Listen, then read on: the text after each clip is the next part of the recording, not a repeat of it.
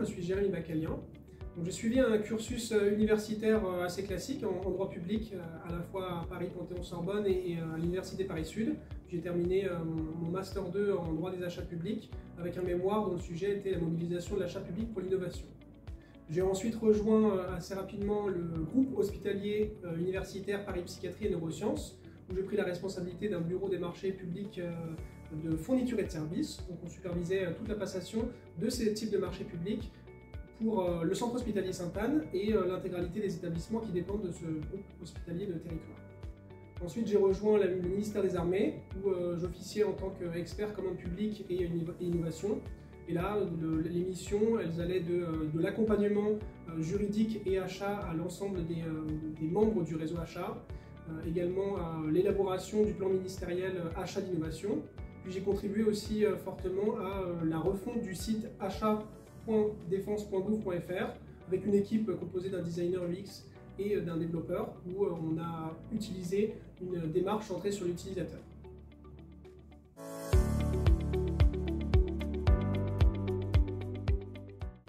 Aujourd'hui, j'occupe le poste de directeur délégué adjoint aux achats et à l'innovation du CNRS, c'est-à-dire le Centre national de la recherche scientifique, c'est un établissement public euh, pluridisciplinaire qui intervient dans tous les domaines de la recherche et qui est sous euh, tutelle du ministère de l'Enseignement supérieur, de la Recherche et de l'Innovation.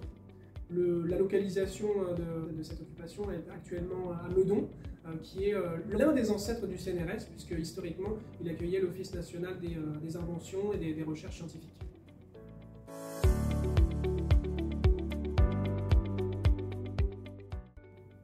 Les rôles et missions avec mes collaborateurs, c'est euh, d'effectuer le pilotage, la stratégie et l'appui des acteurs de la fonction achat. Ça passe euh, à la fois par euh, le pilotage de la performance, que l'on va appuyer auprès des délégations régionales, donc il y en a 17 qui quadrillent l'ensemble du territoire, métropolitain et outre-mer. Nous avons également plus de 1100 laboratoires qui sont rattachés à ces délégations régionales. Ce laboratoire est unité où tous les pans de la recherche sont explorés. Et euh, on opère également la gestion de la flotte automobile, c'est-à-dire qu'on est des interfaces avec les référents euh, flotte et parc automobile qui sont placés dans des services euh, techniques et logistiques. En fait, à la DDAI, donc Direction déléguée aux achats et à l'innovation, on a vraiment une vision très large de l'achat.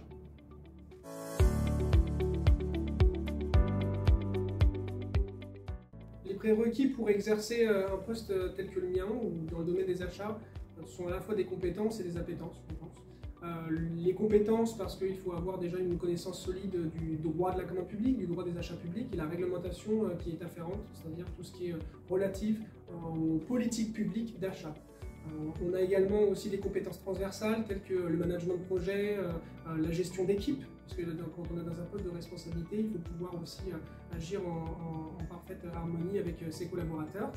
Et puis il y a des appétences, c'est-à-dire qu'il faut être bien sûr rigoureux, mais avant tout créatif, s'adapter et euh, toujours vouloir euh, innover aussi. Donc c'est le I de, la direction déléguée aux achats et à l'innovation.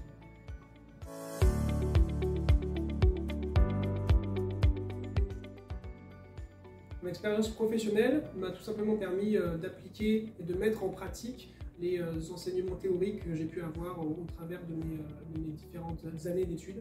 Donc c'est assez simple, en fait, on, a une formation qui est très théorique, surtout quand elle est universitaire, et après on a besoin de la mettre en application quand on va euh, aller à travers différentes expériences professionnelles dans différentes administrations ou dans des euh, secteurs publics et privés, eh bien c'est le, meilleur moyen de pouvoir euh, mettre en œuvre ce qu'on a pu apprendre et le confronter à la réalité en interagissant aussi avec des, des personnes qui viennent d'horizons divers.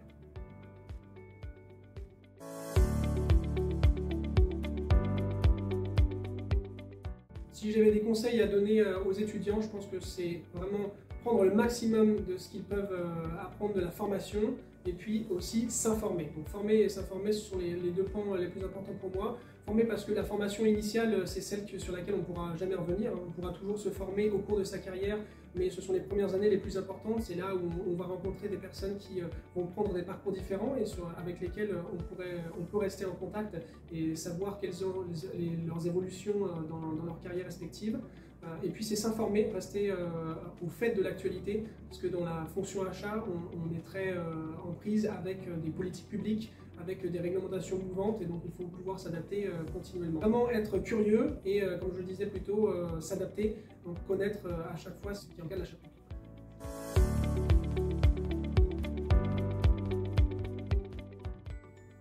Le domaine des achats publics est en constante évolution. Donc il faut vraiment, comme je le soulignais auparavant, euh, se former et s'informer euh, très régulièrement. Savoir que c'est un domaine empreint de, de politique publique forte et euh, d'attente particulière. Donc il y a constamment la nécessité de rechercher la performance de l'achat et puis d'autres objectifs et atteindre d'autres objectifs tels que la diffusion de l'innovation, le fait de favoriser l'accès des, des, marchés publics aux petites et moyennes entreprises, et puis prendre en compte des objectifs tels que l'environnementalisation grandissante de l'achat public ou des objectifs sociaux.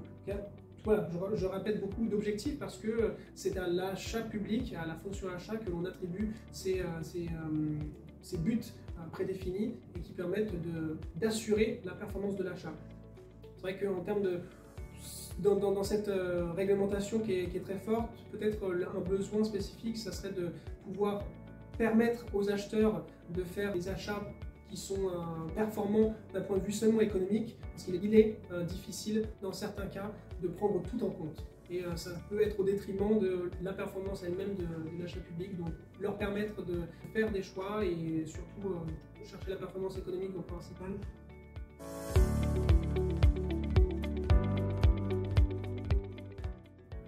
Pense que le master qui est proposé par Leslie, donc performance de l'achat public, s'intègre parfaitement dans l'environnement de, l'achat actuellement tel qu'on le connaît. C'est à la fois une formation euh, novatrice parce qu'elle permet de concilier les connaissances théoriques qui ont été apprises dans le cadre des, enseignements avec euh, l'alternance, c'est-à-dire avec euh, la, possibilité de les appliquer dans un domaine professionnel, que ce soit des environnements publics ou privés. Il y a aussi une diversité dans les modules qui sont proposés, donc qui sont à la fois axés sur euh, des domaines très euh, achat euh, public, avec une réglementation, la connaissance de, la réglementation qui est applicable à ce domaine-là, mais aussi des compétences transversales qu'on avait mentionnées auparavant, telles que le management de projet, la gestion des risques, ou des modules en anglais par exemple. Et puis il y a aussi le fait que la dénomination même de ce master, qui est performance dans l'achat public, elle fait écho à ce que, ce que l'on recherche principalement dans l'achat public, c'est-à-dire la performance. Donc proposer tout cela en même temps euh, sur, sur un temps court, soit sur un an, soit sur deux ans, je pense que le, master y arrive avec brio.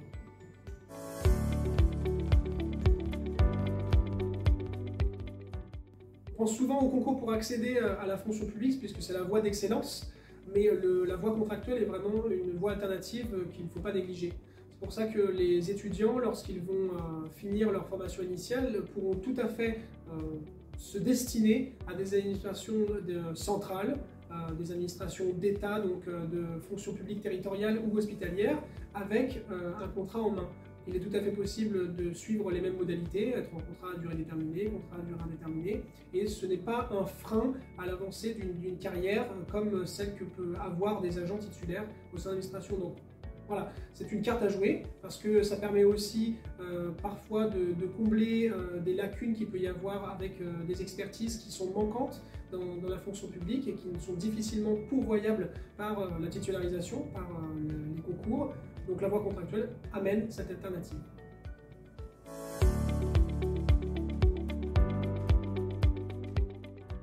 au sein de ce master, j'enseigne cinq modules qui sont très divers. Euh, les trois premiers modules s'axent sur euh, différentes étapes du processus de, la fonction achat qui vont de la survenance du besoin jusqu'à l'exécution. Il est nécessaire de bien connaître le déroulé processus achat pour pouvoir le rendre performant. Ensuite, il y a un module qui est axé spécifiquement sur l'achat public d'innovation parce qu'on n'achète pas l'innovation comme on achète n'importe quelle fourniture, service ou travaux plus standard.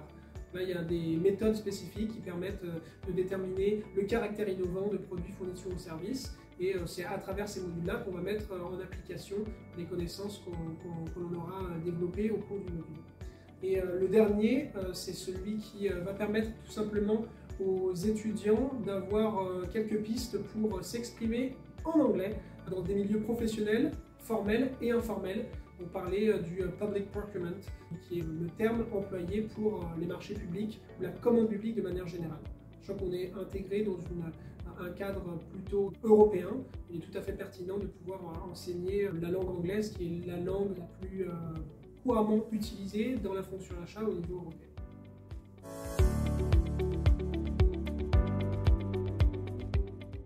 J'ai choisi l'enseignement parce que c'est un véritable défi Ça permet vraiment de mettre en application tout ce qu'on a pu apprendre à travers la formation et à travers ses expériences professionnelles et de transmettre ensuite son savoir à des étudiants qui se destinent peut-être à des carrières similaires ou même euh, variées, donc qui ne seront pas dans les mêmes domaines.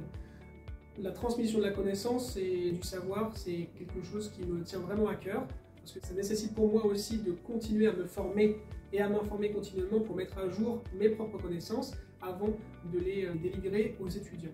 Là aussi, ça me permet de travailler sur la pédagogie en, essayant d'être le plus clair possible et d'apporter des réponses concrètes à des questionnements que peuvent avoir les étudiants.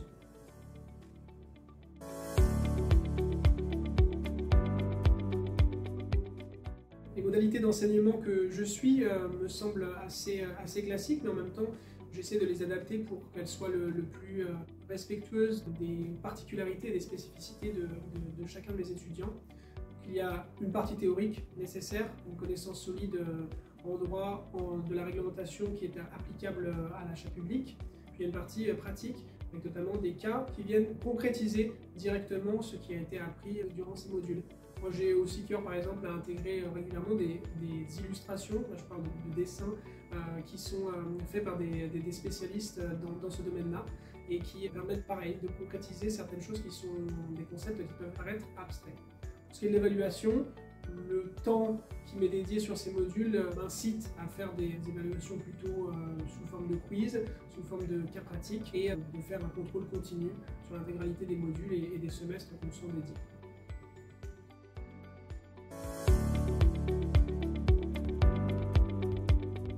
Conclusion, je voudrais dire oser. Oser à la fois poser des questions dans le cadre de la formation qui est au final très courte, que ce soit un ou deux ans, ce sont des, années très précieuses qui vous permettront d'emmagasiner le maximum d'informations et euh, de pouvoir ensuite les utiliser dans vos domaines professionnels. Puis oser aussi dans vos pratiques professionnelles, proposer certaines choses, que ce soit dans le secteur privé ou le secteur public. Je pense que ça, ça peut être euh, mis en valeur et euh, que vous pouvez en tirer vraiment des bénéfices.